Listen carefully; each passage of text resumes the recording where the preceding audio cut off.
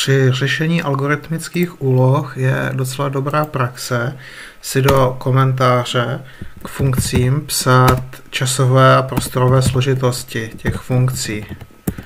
To znamená,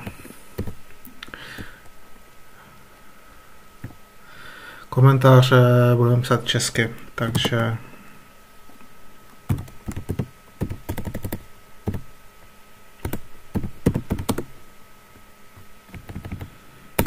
řekněme, že takhle.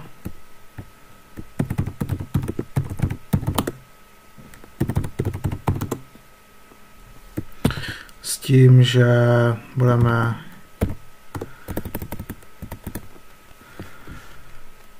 počítá, vrátí,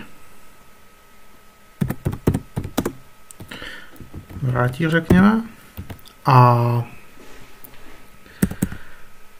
ta Jdeš pryč.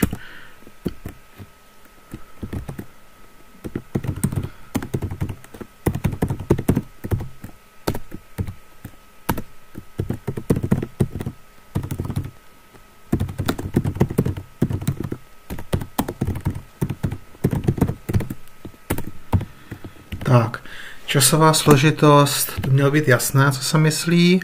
Extrasekvenční znamená, že do toho nezapočítáváme vstup. V tomhle případě vstup je jedno číslo, má konstantní velikost, takže není potřeba ani moc zdůrazňovat. Takže teda časová složitost. To, co v téhle funkci eh, závisí na velikosti vstupu, je počet opakování těla tady cyklu a to se zopakuje eh, podle, podle toho NK o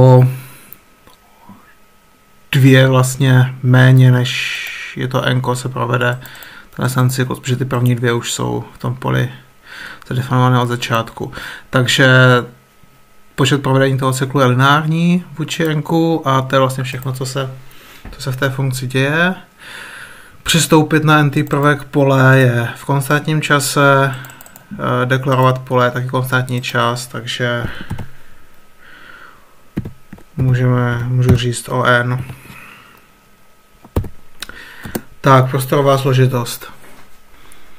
Tahle funkce si pamatuje všechna Fibonacciho čísla od nuly po to nt, které je potřeba vrátit. To znamená, zase je to lineární prostorová složitost.